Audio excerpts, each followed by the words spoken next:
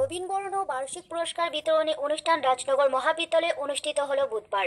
রাজনগর মহাবিদ্যালয় প্রাঙ্গণে এই উপলক্ষে অনুষ্ঠানের আয়োজন করা হলো। প্রথমে উপস্থিত সমস্ত অতিথিদের বরণ করে নেওয়া হয়। এরপর মহাবিদ্যালয়ের কৃতি ছাত্রছাত্রীদের পুরস্কার বিতরণ করা হয়। মহাবিদ্যালয়ের ছাত্রছাত্রীরা বাংলা, ইতিহাস, ইংরেজি সহ বিভিন্ন বিভাগের স্টল করে।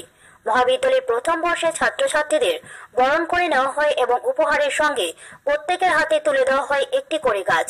উপস্থিত ছিলেন মহাবিদ্যালয়ের অধ্যক্ষা আরিফা সুলতানা মহকুমা শাসক বিডিও অলোক মৌলিক এবং রাজনগর পঞ্চায়েত সমিতির পূর্ত কর্মাধ্যক্ষ সুকুমার সাধু, রাজনগর থানার ওসি সঞ্জন ব্যানার্জি ও বহু বিশিষ্ট ব্যক্তিরা।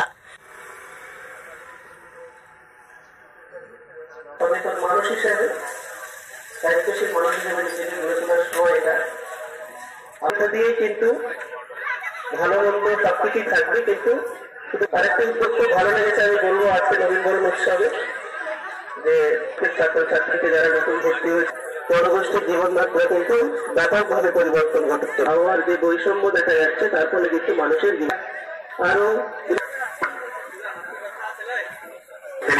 মূল্যবান সময়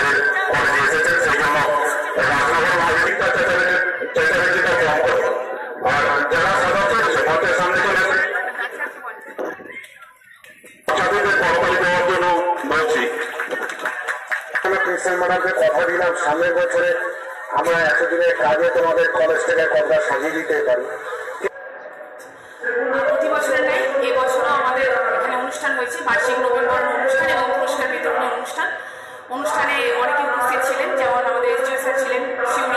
আমাদের স্যার ছিলেন মহাশয়, আমাদের কর্মদক্ষ মহাশয় পঞ্চায়েতের।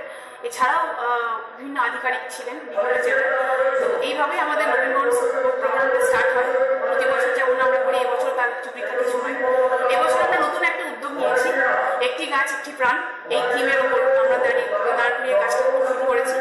এখানে প্রত্যেকটা স্টুডেন্টকে আমরা এবছর নবীনদের একটি করে গাছ উপহার দিয়েছি এবং সেই গাছটিকে তারা আস্তে আস্তে বড় করতে পারে।